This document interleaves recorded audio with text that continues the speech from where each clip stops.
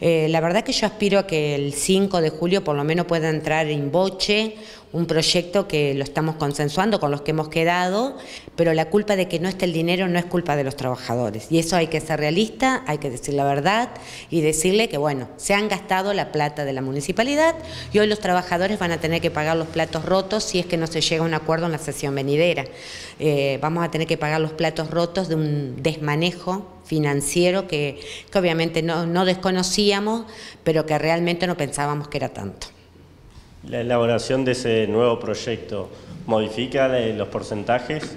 No, modifica los, porcentajes, no los modificaría. Nosotros estamos evaluando la, aplicación de la norma, de llevarlo un poquito más adelante, como así también ese mismo porcentaje se podría desdoblar para no tener un mayor impacto en este mes y hacerlo progresivo.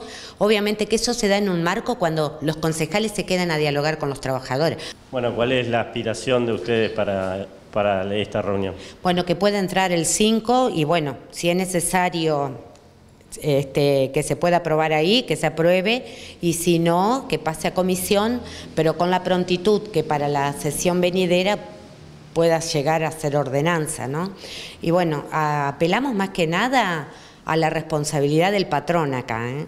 Si acá hay alguien que hay que responsabilizarlo de todo esto es al presidente municipal, que realmente él nos estuvo con un acuerdo paritario dilatando conversaciones y no se ha sentado a dialogar con este sector por lo menos.